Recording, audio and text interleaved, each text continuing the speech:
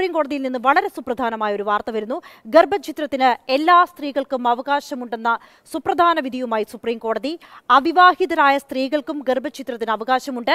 ഇതുമായി ബന്ധപ്പെട്ട വിഷയത്തിൽ ഭർത്താവിന്റെ ലൈംഗിക പീഡനം ബലാത്സംഗമായി കണക്കാക്കാമെന്നും സുപ്രീം കോടതി. ബി. ബാലഗോപാൽ ഈ വിവരത്തിൽ കൂടുതൽ വിശദാംശങ്ങൾ പങ്കുവെക്കും ഈ വിധിയുമായി ബന്ധപ്പെട്ട. ബാലു വളരെ സുപ്രധാനമായിട്ടുള്ള നിലവിലെ സാഹചര്യത്തിൽ വളരെ സുപ്രധാനമായിട്ടുള്ള ഒരു വിധിയാണല്ലോ സുപ്രീം കോടതിയിൽ നിന്ന് വന്നിരിക്കുന്നത്. അതിന്റെ വിശദാംശങ്ങൾ എന്താണ്?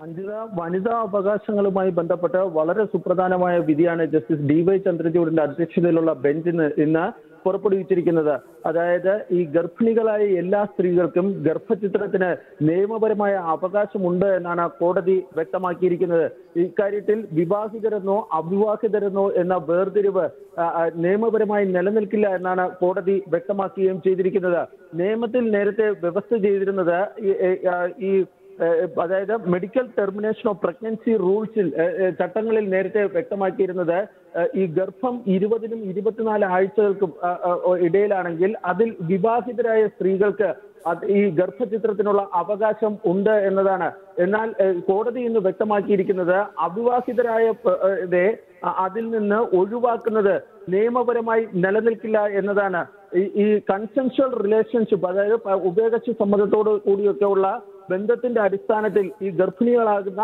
അവിവാഹിതരായ സ്ത്രീകളെ സംബന്ധിച്ചിടത്തോളം അവർക്കും ഈ കാലയളവിൽ ഗർഭചിത്രത്തിന് നിയമപരമായ അവകാശമുണ്ടെന്നും അതിനായി പ്രത്യേക അനുമതികൾ ആവശ്യമില്ല എന്നും ആണ് ജസ്റ്റിസ് ഡി വൈ ചന്ദ്രചൂഡിന്റെ അധ്യക്ഷതയിലുള്ള ബെഞ്ച് വ്യക്തമാക്കുകയും ചെയ്തിരിക്കുന്നത്.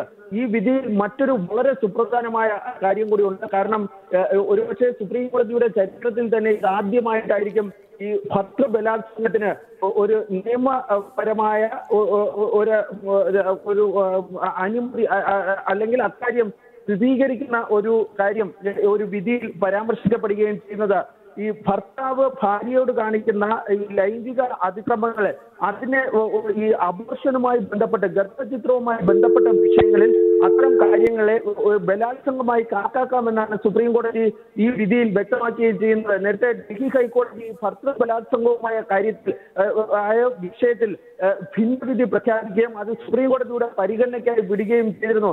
പക്ഷേ ഈ വിധിയിൽ ജസ്റ്റിസ് ഡി വൈ ചന്ദ്രചൂഡിന്റെ അധ്യക്ഷതയിലുള്ള ബെഞ്ച് ചൂണ്ടിക്കാണിക്കുന്നത് ഭർത്താവ് ഭാര്യയോട് കാണിക്കുന്ന ലൈംഗിക പീഡനം അത് ഈ അബോർഷനുമായി ബന്ധപ്പെട്ട ഒരു വിഷയത്തിലേക്ക് വരികയാണെങ്കിൽ അത്തരം പീഡനങ്ങളെ ഭർത്തൃ ബലാത്സംഗത്തിന്റെ പരിധി കണക്കാക്കാമെന്നാണ് സുപ്രീം കോടതി ഇന്ന് വ്യക്തമാക്കുകയും ചെയ്തിരിക്കുന്നത് സ്വാഭാവികമായും ഭർത്തൃ ബലാത്സംഗവുമായി ബന്ധപ്പെട്ട സുപ്രീം കോടതി ഇനി പരിഗണിക്കാൻ പോകുന്ന ഹർജികളിൽ ഈ ഈ വിധി വളരെ സുപ്രധാനമായ സ്വാധീനം ചെലുത്തുന്ന കാര്യത്തിൽ യാതൊരു തർക്കവുമില്ല. അജിത ഓക്കെ ബാലു ഏറെ നാളുകളായി ഇതുമായി ബന്ധപ്പെട്ടൊക്കെയുള്ള ഹർജികൾ സുപ്രീം കോടതിയിൽ എത്തിയിരുന്നു. ഇപ്പോഴാണല്ലോ സുപ്രീം കോടതിയിൽ നിന്ന് ഇതുമായി ബന്ധപ്പെട്ട ഒരു സുപ്രധാന വിധി ഉണ്ടാകുന്നത്.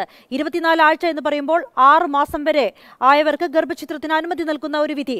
ഇത് മെഡിക്കൽ കൗൺസിൽ ഓഫ് ഇന്ത്യയുടെയും ആ രീതിയിലുള്ള വിദഗ്ധ നിയമോപദേശമൊക്കെ തേടിയ ശേഷമുള്ള ഒരു സുപ്രീം കോടതി വിധിയാണോ? തന്നെ ഈ നിയമത്തിൽ അതായത് മെഡിക്കൽ ഈ പ്രഗ്നൻസി ടെർമിനേഷൻ റൂൾസിലെ ത്രീ ബി മൂന്ന് ബിയിൽ വ്യക്തമാക്കിയിരുന്നത് വിവാഹിതരായ സ്ത്രീകളെ സംബന്ധിച്ചിടത്തോളം അവർക്ക് അവരുടെ ഗർഭചിത്രം ഈ ഇരുപത് മുതൽ ഇരുപത്തിനാല് ആഴ്ച വരെ ഗർഭം ഇരുപത് മുതൽ ഇരുപത്തിനാല് ആഴ്ചക്കിടയിലാണെങ്കിൽ അവർക്ക് ഈ ഈ നിയമപരമായി ഈ- അബോർഷൻ നടത്തുന്നതിന് അഥവാ ഗർഭചിത്രം നട- നടത്തുന്നതിന് ഈ നിയമത്തിൽ വ്യവസ്ഥ ചെയ്യുന്നുണ്ട്. എന്നാൽ ഈ ത്രീ ബിയിൽ ഈ അവിവാഹിതരായ ഈ ഗർഭിണികളെ സംബന്ധിച്ചുള്ള കാര്യത്തിൽ പരാമർശിച്ചിരുന്നില്ല. അതുകൊണ്ട് തന്നെ അവ അവിവാഹിതരാകുന്ന ഏതെങ്കിലും ഒരു വ്യക്തി ഒരു ഒരു ഗർഭിണിയെ സംബന്ധിച്ചിടത്തോളം അവർ ഇത്തരത്തിൽ അതായത് നിയമപരമായി മറ്റും വിവാഹം കഴിച്ചിട്ടില്ല. പക്ഷേ ലിവിംഗ് റിലേഷൻസിന് ഇടയിൽ അല്ലെങ്കിൽ ഉഭയകക്ഷി സമ്മതത്തോടു കൂടി ഉണ്ടാകുന്ന ബന്ധത്തിന്റെ അടിസ്ഥാനത്തിൽ അവർ ഗർഭിണിയാകുകയും അവർ ഇത്തരത്തിൽ ഏതെങ്കിലും തരത്തിൽ ഈ ഗർഭചിത്രത്തിന് ആഗ്ര ഏ, ഏ, താല്പര്യം കാണിക്കുകയാണെങ്കിൽ അതിന് ഈ പ്രത്യേക അനുമതിയും മറ്റും തേടണമായിരുന്നു. അത് വേണ്ട എന്നാണ് സുപ്രീം കോടതി ഇന്ന് വ്യക്തമാക്കിയിരിക്കുന്നത്. കാരണം അത് ഒരു സ്ത്രീയെ സംബന്ധിച്ചിടത്തോളം ഈ ഗർഭിണി ഗർഭസ്ഥ അവസ്ഥ ഗർഭിണികളായ സ്ത്രീകളെ സംബന്ധിച്ചിടത്തോളം ഈ വിഷയത്തിൽ medical termination of pregnancy rules വിഷയത്തിൽ അതിൽ വിവാഹിതരെന്നോ അവിവാഹിതരെന്നോ എന്ന വേർതിരിവ് ആവശ്യമില്ല.